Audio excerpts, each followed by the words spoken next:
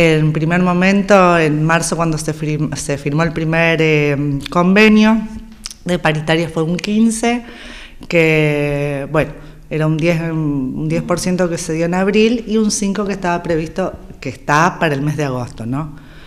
Eh, con toda la, inflación que hubo y eso, hubo que sí o sí hacer un reajuste porque a los empleados no les alcanza, obviamente.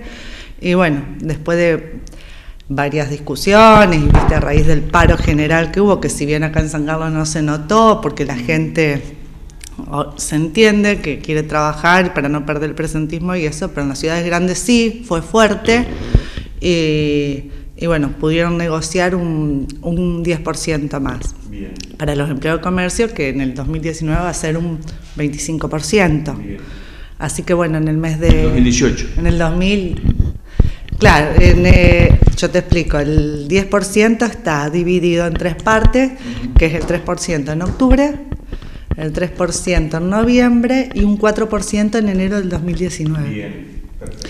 Y sigue, sigue vigente la cláusula gatillo. Bien. Eso sigue como pasó en este año, que tuvimos un 6% más entre enero a marzo, ya después se pelean, se discuten las paritarias del 2019. Bien.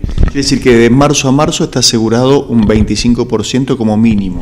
De marzo a marzo está asegurado un 25% y está la cláusula gatillo en enero, que se hace un, un estudio cómo va la inflación este año y se, se negociará algunos puntitos más. Bien, bien.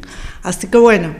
Eh, es una lucha constante y nosotros sabemos que nunca, nunca alcanza, no alcanzan, los sueldos de los empleados no alcanzan y bueno, pero algo más se consigue. Seguro, y es un, es un buen logro. Pensaba también en los titulares de los comercios. Los más grandes tienen una espalda para soportar y de hecho este, los ajustes inflacionarios en sus productos se trasladan. ¿Qué es lo que pasa con los más chicos? Y bueno, un poco el tema del aumento es que se, eh, empiece a mover eh, la rueda. O sea, al, empleado darle aumento, vos sabés que un empleado, un trabajador, lo invierte en el comercio, en zapatos, en útiles, en lo que sea, puede comprarse algo. Y eso es lo que va moviendo la rueda. Claro. Es la única forma.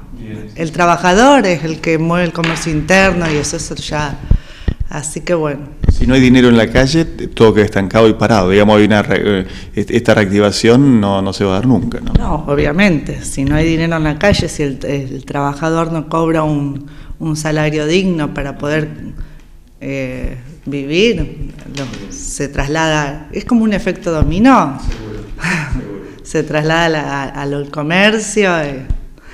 Así que bueno, eh, cualquier duda que tengan los empleados de comercio, que nos llamen, que se acerquen a las oficinas, que nosotros los vamos a asesorar.